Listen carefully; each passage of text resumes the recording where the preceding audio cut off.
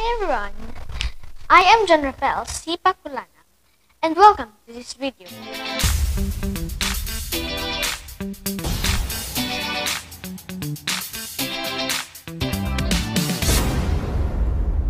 Today, we will be talking about physical and chemical change.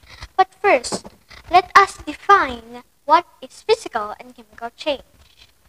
Physical change is something that changes the physical properties of a substance, such as size, shape, or form. Physical change does not form a new substance. It may change its shape or size and can often be undone. While chemical change, it is a reaction that rearranges the particle of two or more substances to create at least one new substance. In other words, in chemical change, you always form a new substance. It may change color, produce odor, or even release gas, and usually it cannot be undone. And here's an example of a physical change. A paper. I can crumple it, but it is still a paper. Nothing has changed on it. It's just its form that it's only changed its form. It's just crumpled, but it's still a paper. I can cut this, but it is still a paper. Both of it are still a paper.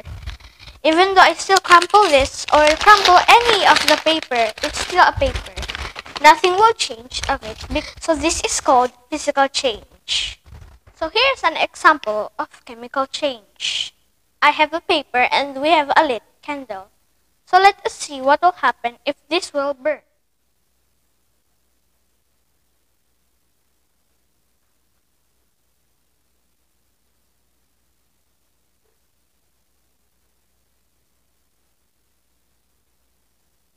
So now, we have seen that it became ash. So that is a chemical change. Because as you can see, it changed its color, it changed its odor, and it has created a new substance. So, this is chemical change, and this is physical change. To review, physical change is something that changes the physical properties of a substance, such as size, shape, or form. While chemical change, it is a reaction that rearranges the particles of two or more substances to create at least one new substance. So that's all about it. Thank you for watching. Bye bye. See you next time.